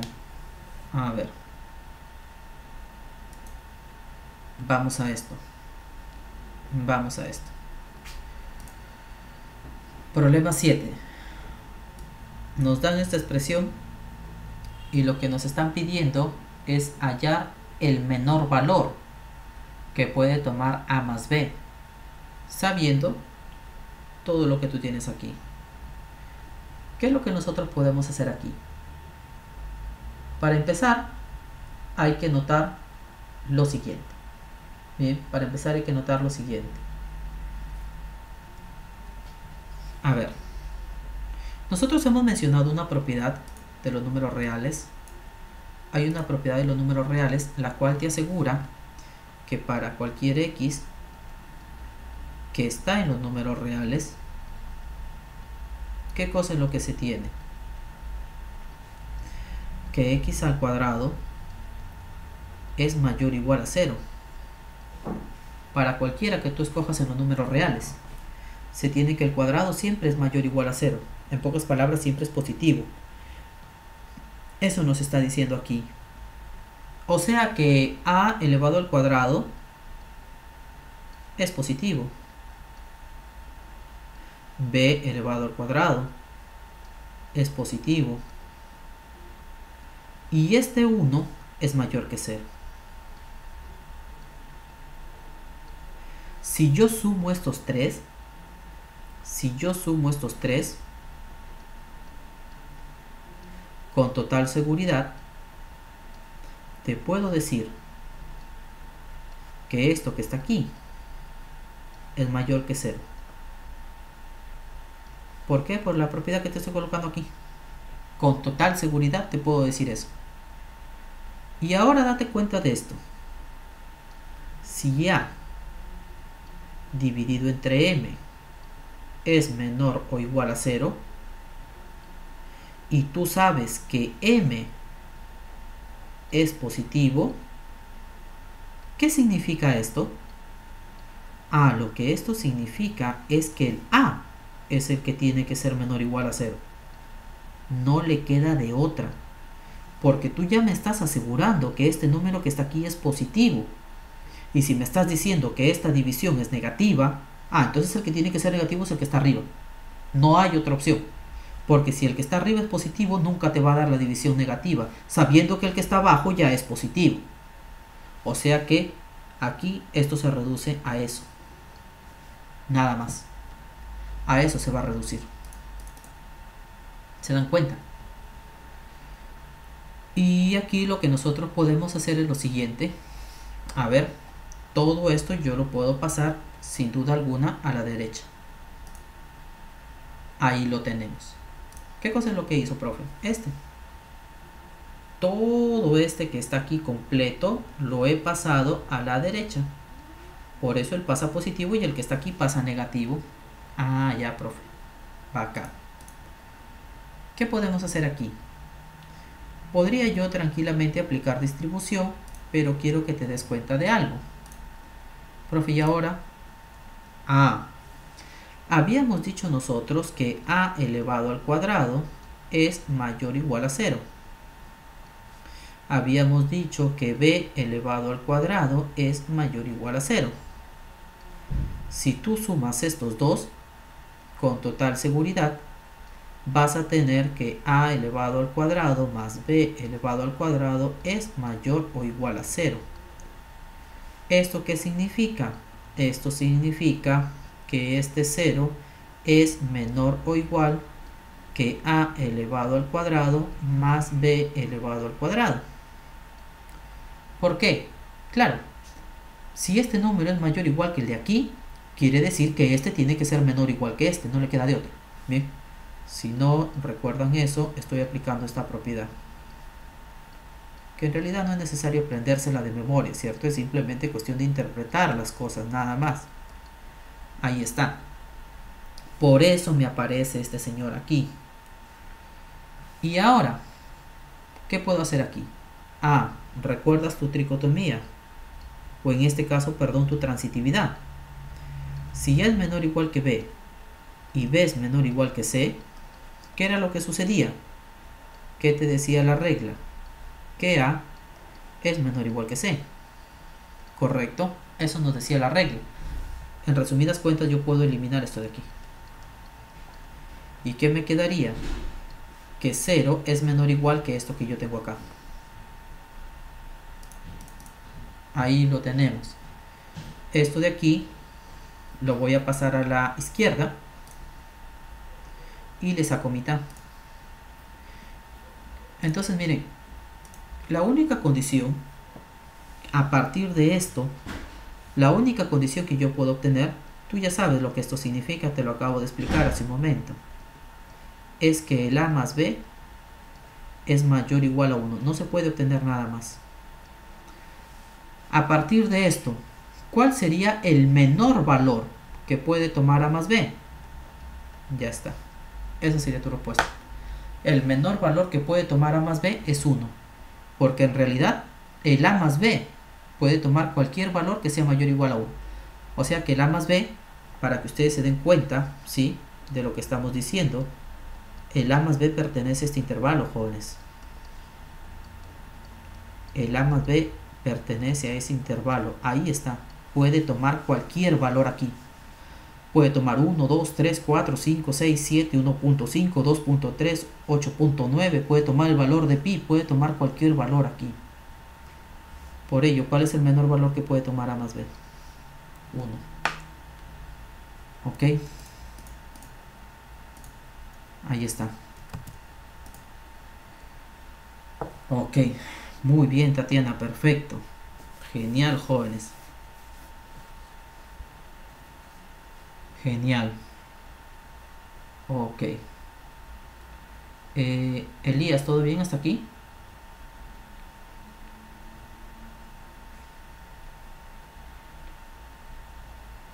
¿Sí te quedó claro?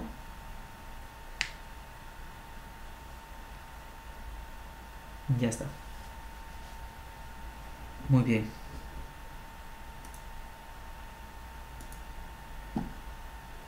Vamos aquí. Ok, vamos aquí. La semana pasada, si ustedes recuerdan, yo les expliqué algo de radicales dobles. ¿Se acuerdan?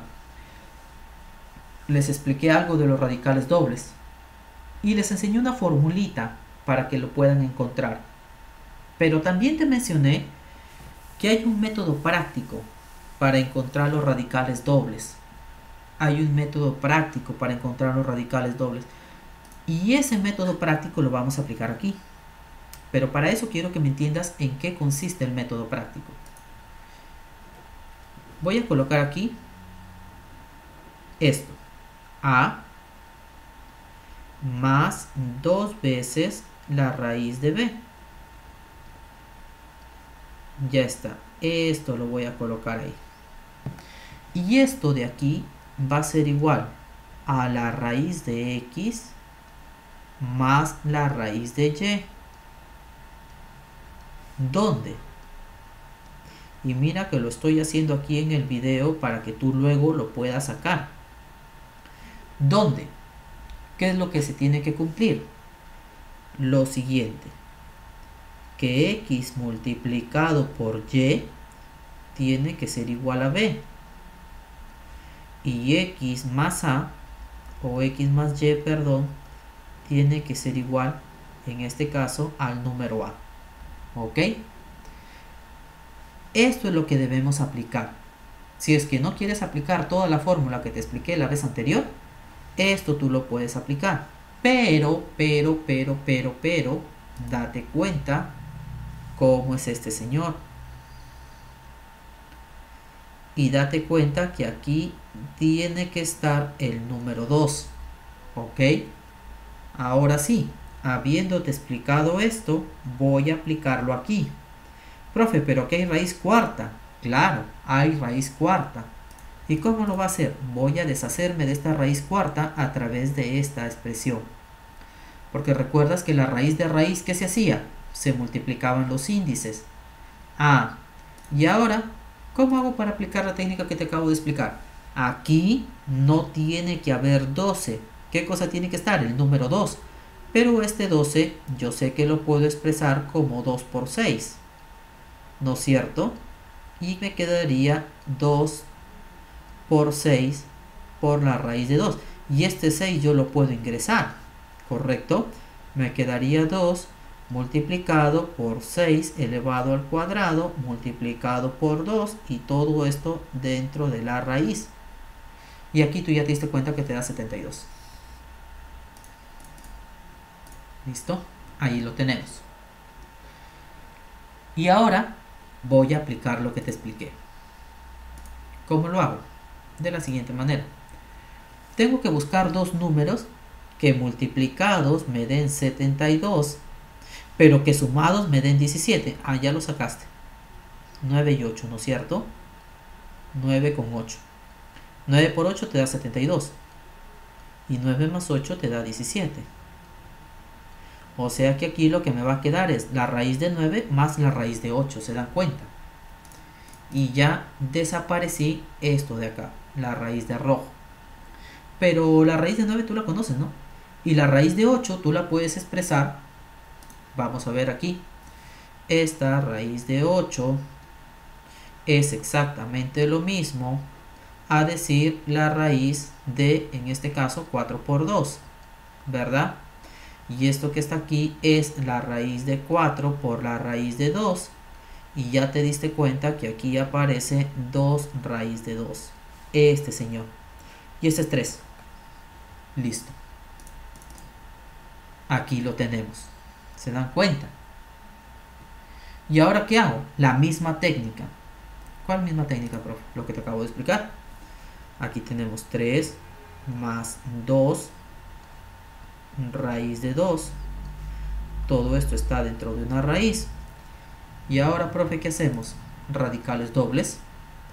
Busco dos números que multiplicados me den 2 y que sumados me den 3. Facilito, profe, papayita. 2 y 1. Genial. O sea que esto vendría a ser la raíz de 2 más la raíz de 1. ¿Qué cosa es esto? Raíz de 2 más 1. Ah, ok. Entonces ya tenemos esta parte aquí. ¿Qué voy a hacer ahora? He calculado este, mira. Lo reemplazo aquí. Me doy cuenta que se anulan. Se simplificaron. Ah, ok. Y ahora, ¿qué puedo hacer aquí? Esa es la pregunta del millón. ¿Qué puedo hacer aquí? ¿Esto a qué tema corresponde?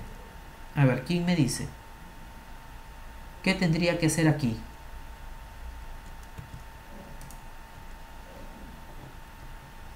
¿Qué tendría que hacer ahí, jóvenes? A ver, voy a abrir aquí para poder leer sus respuestas. Lo voy a colocar de esta manera. ¿Se dan cuenta? ¿Quién dice que no? Que no se puede interactuar con ustedes. A ver, ¿dónde estamos? Aquí. Ahora me regreso acá. Listo. Y me voy aquí contigo. Pregunta, chicos. ¿Qué puedo hacer aquí? ¿Qué debería de hacer aquí? Ahí. ¿Qué debería de hacer? ¿Qué puedo hacer en esa parte? Aquí. ¿Qué dicen ustedes? ¿Qué opinan? Aquí estamos jóvenes. ¿Qué hago ahí?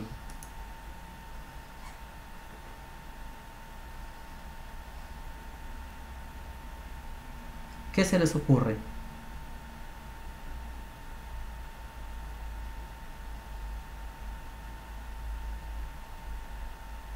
Tatiana, ¿alguna idea?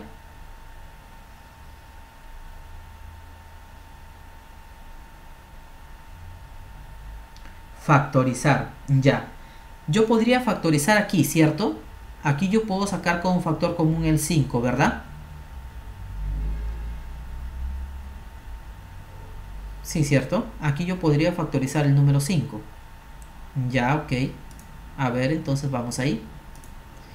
Factoricemos el número 5. Bueno, aquí te estoy colocando algo. Mire, si nosotros factorizamos el número 5, tal y como recomienda su compañera, lo que vamos a tener aquí es esto. A ver, no sé si lo he colocado aquí. No. A ver, si yo factorizo aquí, vamos a obtener esto, para que se puedan dar cuenta.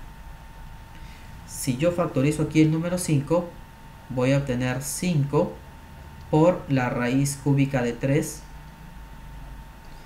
más 2. Ya está. Y en la parte de abajo nos va a quedar todo esto. La raíz cúbica de 9 más 4 más la raíz cúbica de 24 ya estamos. Ahí. Perfecto. Ahora regreso aquí con ustedes.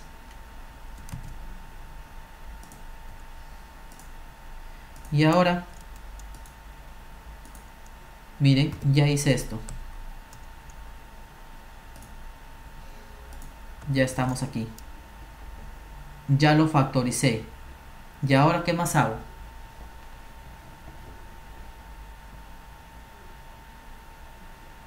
¿Saben ustedes a qué corresponde este tema? Jóvenes, esto que está aquí es el tema de racionalización. Lo que yo tengo que hacer aquí es racionalizar. Eso es lo que tengo que hacer. Racionalizar. ¿No es cierto? ¿Y cómo voy a hacer para racionalizar, profe? Porque nosotros, a ver, no sé si lo tengo aquí, en diseño. Voy a colocar esto en la parte superior. Formato, en referencias, en revisar creo que está, ¿no? Ajá. Así es. ¿Y cómo racionalizo eso, profe? Porque yo estoy acostumbrado a racionalizar esto. 3 entre la raíz de 2. O también, profe, yo podría racionalizar esto. 3 sobre la raíz de 2 más 4. Eso yo sí lo puedo racionalizar, pero ¿cómo racionalizo esto, profe? ¿Qué le hago aquí? Esa es la pregunta del millón, jóvenes. ¿Qué hacemos aquí? Mira, te voy a explicar que esto usualmente no te lo enseñan, pero yo te lo voy a enseñar. ¿Qué voy a hacer? Aquí te he colocado estas fórmulas con total seguridad. Tú las conoces, las has visto. Y ahora voy a hacer algo. ¿Qué pasaría si en lugar de A yo coloco la raíz cúbica de este A? Y en lugar de B yo coloco la raíz cúbica de este B. ¿Qué pasaría si yo hago eso? Ah, si yo coloco esto aquí, reemplazo en las dos fórmulas, voy a obtener esto en esta primera formulita de aquí y en la segunda formulita voy a obtener el que está acá. Profe, ¿cómo sale eso? Aplicando tus propiedades. Aquí, por ejemplo, cuando lo eleves al cubo, va a ser este de aquí elevado al cubo, ¿no es cierto? Y aquí se eleva al cubo. ¿Y qué sucedió? A. O sea que A elevado al cubo es A. Análogamente, B elevado al cubo es B. O sea que aquí te queda A más B. ¿Lo viste? En A más B, ¿quién te quedaría? Pues sencillo. Si me estás diciendo que A es la raíz cúbica de A y B es la raíz cúbica de B, aquí te quedaría la raíz cúbica de A más la raíz cúbica de B. Igual, reemplazas aquí. Esto lo elevas al cuadrado, multiplicas estos dos y este lo elevas al cuadrado. Muy bien, ahí no hay nada de novedoso. O sea que tenemos esto de aquí, en resumidas cuentas. Y hay que tener en cuenta que yo había seguido el consejo de Tatiana, ¿cierto? Donde yo había factorizado el número 5.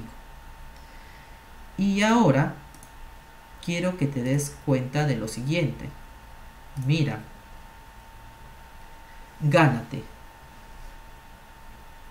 Este que está aquí se asemeja a estos, ¿verdad? Especialmente al que está aquí se asemeja a ese que está ahí. Profe, pero acá no tiene raíz cúbica. Claro que no tiene raíz cúbica, pero yo puedo hacer esto, ¿cierto? Raíz cúbica de 3. Pero este 2 yo sí lo puedo expresar como raíz cúbica de 8. ¿Sí o no? Este que está aquí es el mismo. Ah. Y si ese de ahí es el mismo, yo lo comparo con este, me doy cuenta que este señor está haciendo el papel de A. Y este joven que aparece aquí está haciendo el papel de B. Ah. ¿Y qué pasaría si yo este A igual a 3 lo reemplazo aquí? Este B igual a 8 lo reemplazo aquí. Y por curiosidad también lo reemplazo aquí. ¿Qué podré obtener? Bueno, hagamos la prueba. Aquí te lo comenté. Tenemos esto, mira, lo voy a conmutar. ¿Para qué lo voy a conmutar? Porque si el A es 8 y el B es 3, aquí yo lo voy a poder reemplazar 8 menos 3. Ah, perfecto. Entonces, si yo reemplazo en el primero, recuerda, A es 8. ¿Por qué es 8? Aquí lo tienes. Este es A y este es B, según este formato. Así que reemplazo, nada más. En lugar de A coloco 8 y en lugar de B coloco 3. Cuando tú reemplaces todo te queda esto. Míralo, aquí está.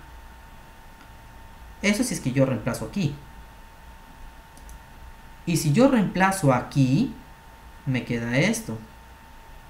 Ah, ok. Y hagamos algunos cálculos aquí. A ver. 8 por 3, 24. 3 al cuadrado, 9.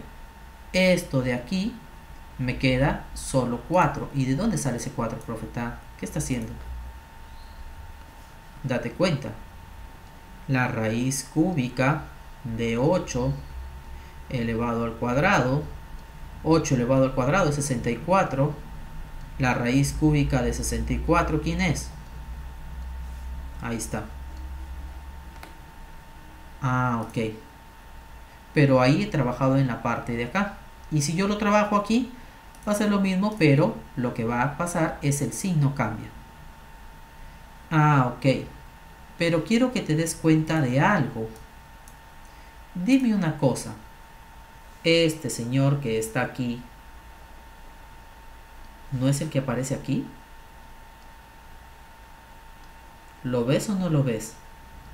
Ah. ¿Y este que aparece aquí? ¿No es este? Sí, ¿no es cierto? ¿Y qué pasa si este yo lo paso a dividir? Si yo lo paso a dividir, voy a obtener esto. Y este que aparece aquí, si tú te das cuenta, es justamente este señor. Este que está aquí, mira. Ese es el que aparece aquí. Ah. O sea que esto se reduce a lo que está aquí. ¿Ok? Esto, repito, esto lo estoy obteniendo a partir de aquí. Simplemente lo he pasado a dividir y me doy cuenta que tengo esta de aquí, esta división, y está siendo multiplicada por este. Por esa razón obtengo esto de aquí. Ah, ok. Y ahora, profe, ahora voy a deshacer todo lo que hice. Este de aquí es 2 y este es 2. Y esto tú lo conoces. ¿Por qué? Porque esto es una diferencia de cuadrados. ¿Quién me queda? El primero al cuadrado menos el segundo al cuadrado pero 3 al cuadrado es 9, ¿cierto? Aquí está mi respuesta. Eso es lo que yo tenía que hacer. Y efectivamente corresponde al tema de racionalización. ¿Sí se logró entender?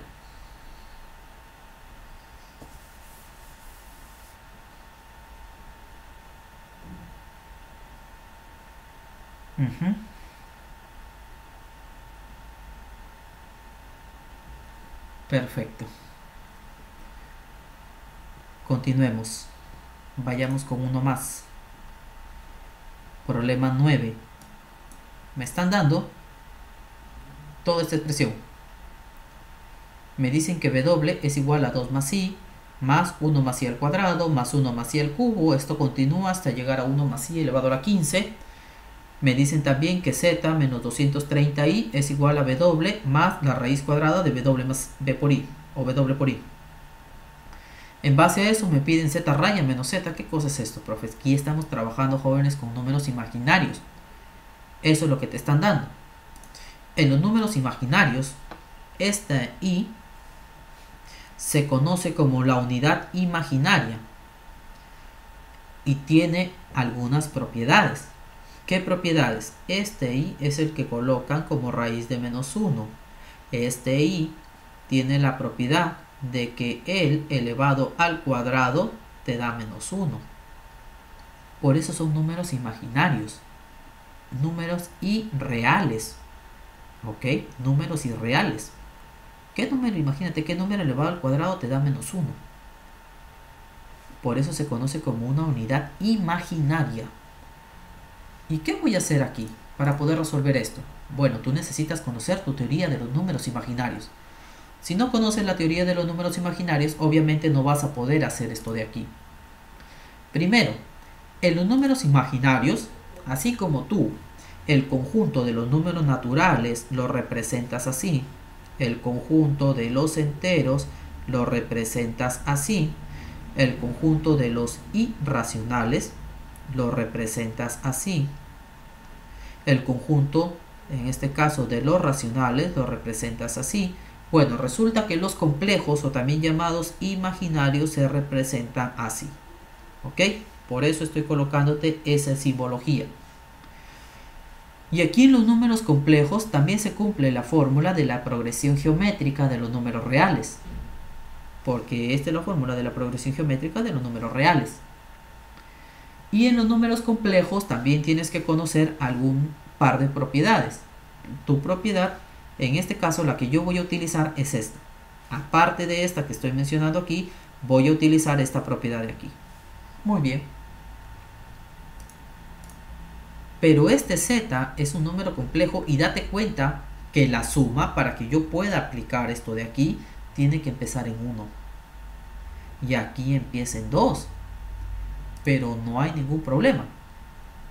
Para empezar, debes de notar que aquí está z, z al cuadrado, z al cubo, llega hasta z a la n, míralo, z al cuadrado, z al cubo, z a la 15, ese vendría a ser mi z a la n, pero aquí no aparece z, pero no hay problema, porque esto yo lo puedo escribir como 1 más 1 más i, y ahí aparece el z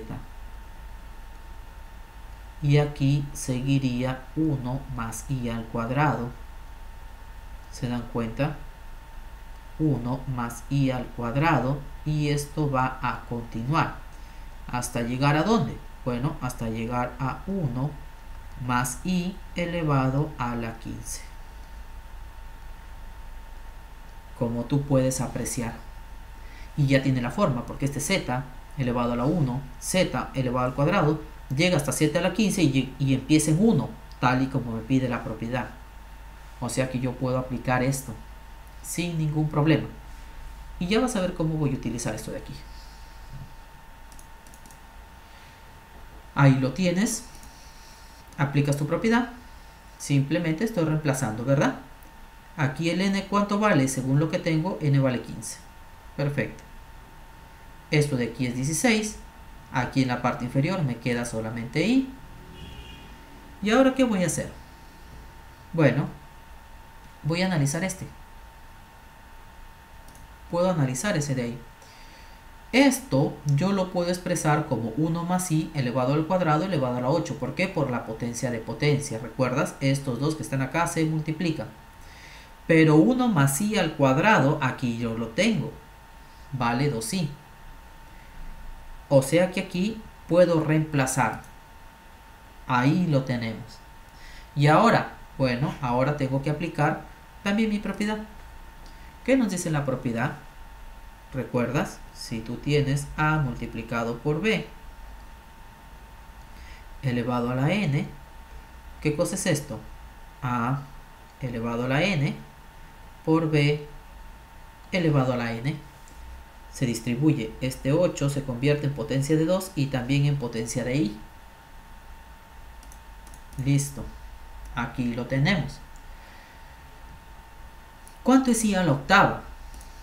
Para eso, recuerda que yo te mencioné que i elevado al cuadrado es igual a menos 1.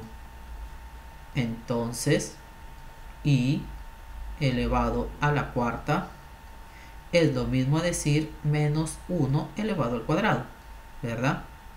¿Por qué? Porque estoy elevando al cuadrado aquí. Elevo al cuadrado ahí, elevo al cuadrado acá y me sale que y a la cuarta es menos 1 al cuadrado, o sea que y a la cuarta vale 1, mira. Qué comportamiento tan extraño tienen los números imaginarios, pero han ayudado a resolver muchos problemas de la física. Así que ya sé que esto vale menos 1 o perdón, esto vale 1. Por lo tanto, aquí me quedaría 2 a la octava menos 1. ¿Y 2 a la octava cuánto es? 256. Genial.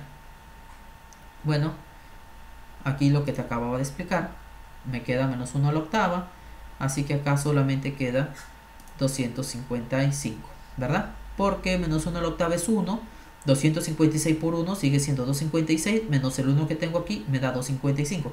¿Y este? ¿Qué hago? ¿Cómo hago para dividir entre i? Fácil. Multiplico por i abajo y multiplico por i arriba. Aquí me queda i por i, eso es i cuadrado. ¿Qué te dije yo? i elevado al cuadrado en los imaginarios es igual a menos 1. O sea que aquí abajo me queda menos 1. Y en la parte de arriba 255i. Entre menos 1, ¿cuánto me da? Menos 255i.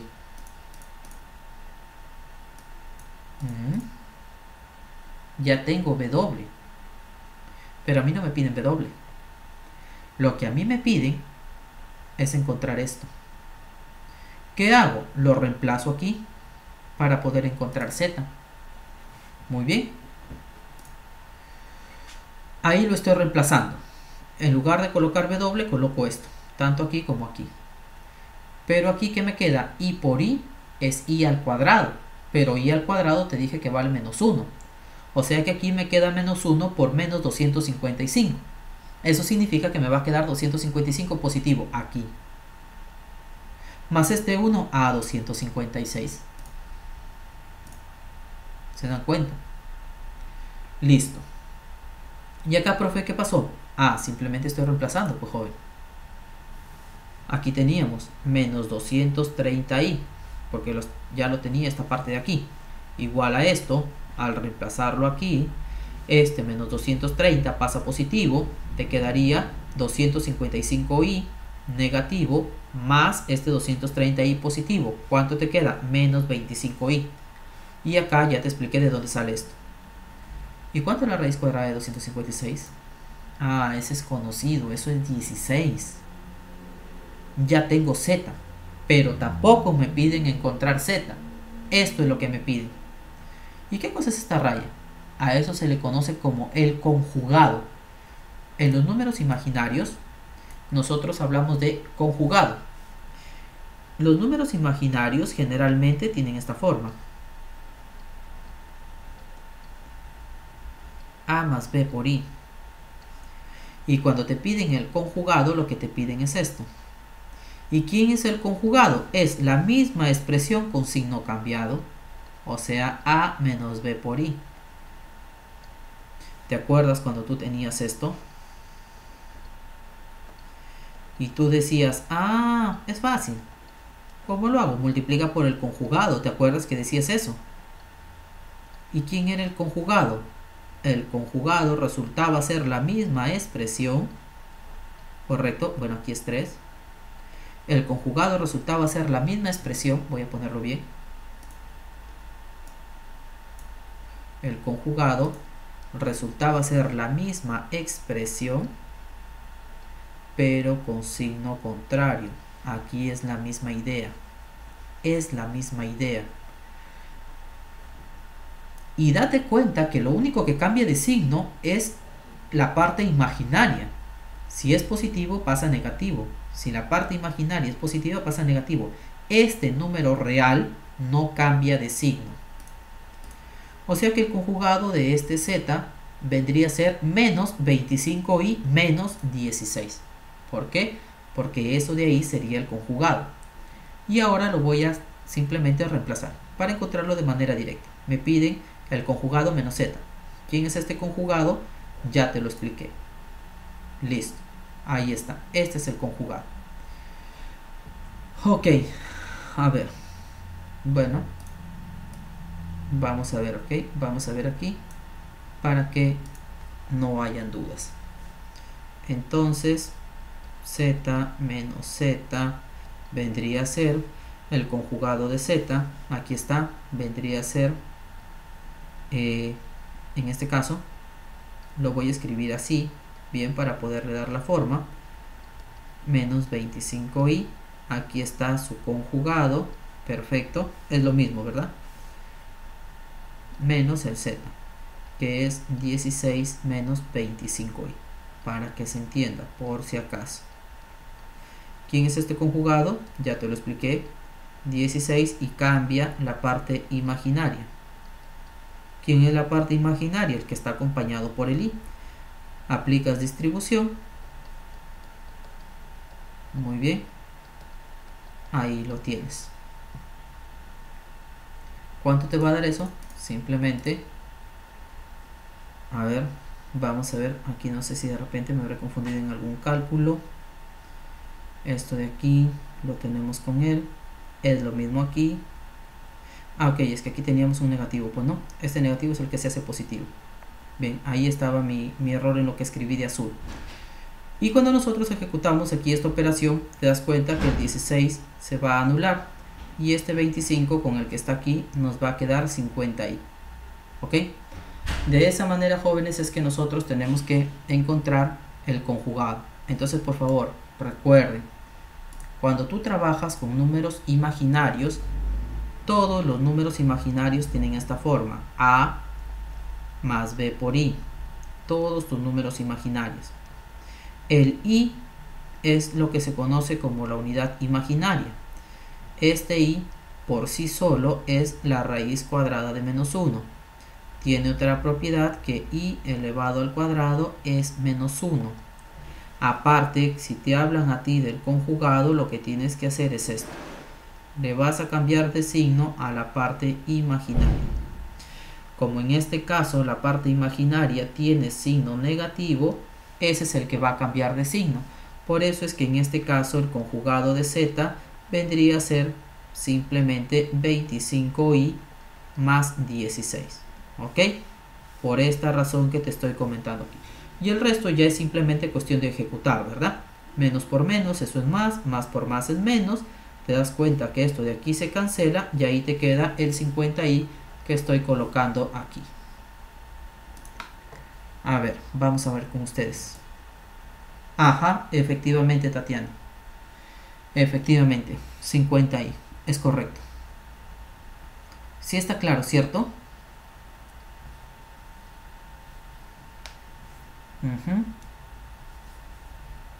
Listo. Muy bien. A ver. Completemos el problema número 10. Y ya con esto podemos dar nosotros concluida la clase, por lo menos el día de hoy. Me dan un dato este polinomio, dicen que es divisible por este polinomio. En polinomios, cuando te hablan de divisibilidad y todo lo demás, la teoría se asemeja mucho a los números reales. Cuando dices tú que este número m, bien, voy a colocarlo aquí, a ver. Cuando dices tú que este número m es divisible por este número n. ¿Cuándo es divisible este número de aquí? Ah, fácil, ¿cierto? Cuando al realizar la división, cuando al realizar la división, resulta que el residuo es cero. Ahí tú dices que este m es divisible por el de aquí. En pocas palabras, este m lo puedes dividir exactamente en n. Eso es lo que te está diciendo. Perfecto. Y ahora tengo estos datos. ¿Qué puedo hacer aquí? Lo siguiente. Primero, voy a completar este polinomio. Lo voy a completar y lo voy a ordenar de mayor grado a menor grado. Como te das cuenta, aparece x a la cuarta, he completado 0x al cubo, el término cuadrático está aquí, he completado el 0x y el término independiente está ahí. Lo estoy ordenando de mayor a menor. Y aquí el divisor que yo tengo lo voy a expandir. ¿Cómo lo expando? Pues hay que ejecutar aquí la, multiplicación, ¿cierto? Este x al cuadrado multiplica el x, también multiplica el menos 3. Este menos 4 multiplica el x, también multiplica el menos 3. Entonces, cuando tú ejecutes lo que debes, los cálculos que debes hacer aquí, vas a llegar a esta expresión. Eso yo no lo voy a hacer. ¿Por qué no es complicado? Pues no. Y ahora, ¿qué hago? lo que me están indicando. Este polinomio es divisible por este, lo cual significa que si yo divido este polinomio entre el que está aquí, lo que voy a obtener es que el residuo es cero. Entonces vamos a dividirlo. ¿Cómo se divide? Yo te expliqué en la clase anterior. ¿Recuerdas? ¿Qué te dije? Este señor que está aquí se divide entre el primero que aparece aquí. x a la cuarta entre x al cubo, ¿cuánto me da? x. ¿Verdad? Me da x. Y ahora, ¿qué se hace? Bueno, hay que multiplicarlo. Este x multiplica todos, al de aquí, al de aquí, al de aquí y al de aquí. x por x al cubo me da x a la cuarta. ¿Cómo lo escribo aquí? Con signo cambiado, ¿verdad? Eso se explicó. x por menos 3x al cuadrado, ¿cuánto me da? Menos 3x al cubo. ¿Cómo lo escribo aquí? Con signo contrario. Más 3x al cubo. Y el proceso continúa uno a uno. Ahí lo tenemos. ¿Y qué hay que hacer ahora? Bueno, ejecutar esto, ¿cierto? Yo ejecuto aquí. Aquí lo puedo sumar, como te das cuenta, me da 3x al cubo. Sumo esto, sumo esto este menos multiplica aquí, multiplica acá. ¿Cuánto me quedaría? Menos A menos 1. Menos 1 más 4 me da 3 y el A queda negativo. Ahí lo tienes. ¿Ok? Ejecuto la suma aquí y este tengo que bajarlo, naturalmente. Es exactamente lo mismo que nosotros hacemos cuando dividimos. Y ahora, ¿qué hago? Este señor que está aquí, lo divido entre este que aparece aquí. 3x al cubo entre x al cubo me genera como respuesta 3 positivo. ¿Qué hace este 3? Multiplica a él, a él, a él y a él. 3 por x al cubo me da 3x al cubo. Lo pongo aquí con signo cambiado, ¿te das cuenta? Luego, más por menos, eso es menos, aquí yo voy a escribir más. 3 por 3x al cuadrado me va a dar 9x al cuadrado más por menos me da menos, aquí escribo el signo más, todo contrario.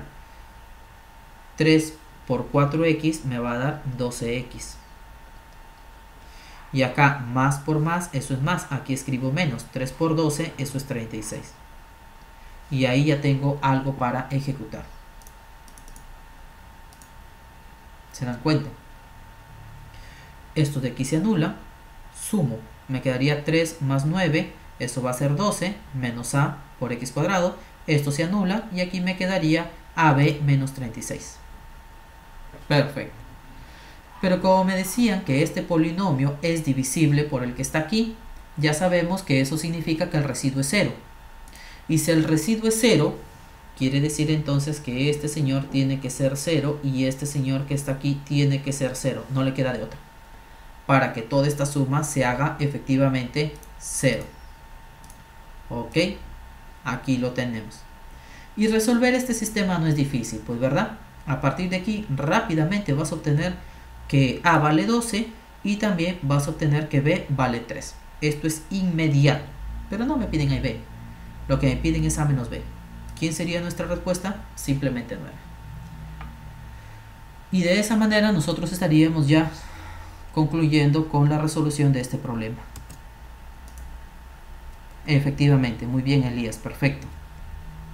Así es. Tal y como lo acabas de mencionar. Ya estamos ahí.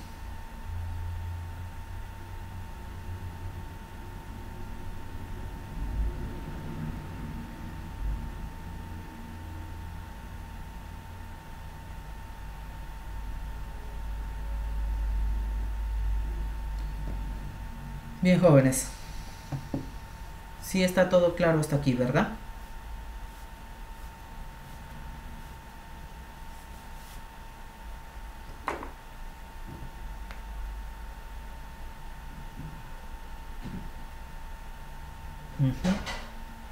Muy bien.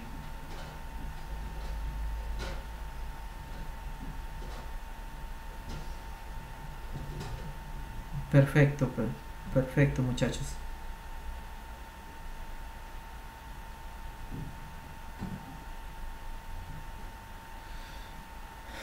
Bien chicos, entonces eso ha sido todo por el día de hoy.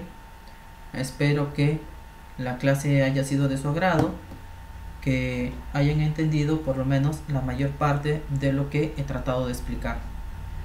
Cualquier cosa, no se olviden, se está haciendo la grabación del video.